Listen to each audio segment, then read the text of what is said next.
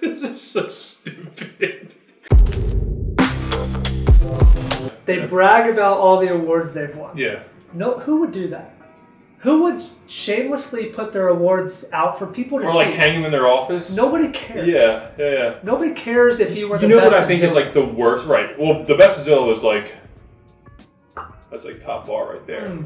I think the worst agents, what they do is they take all their awards and they hang them on the shelf above their new agents.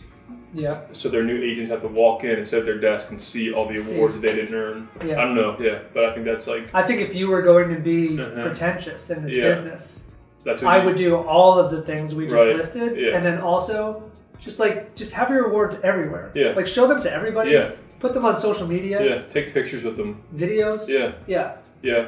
I mean, I was never guilty of taking pictures with my BMW, but I have taken pictures with my awards. And I'm before. very proud of your awards. I am. hmm So, Especially, well, especially that one right there. This one. This is my favorite.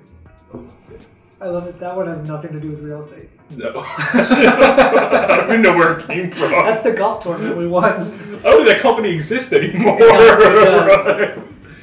Why do you, whatever, alright, bye.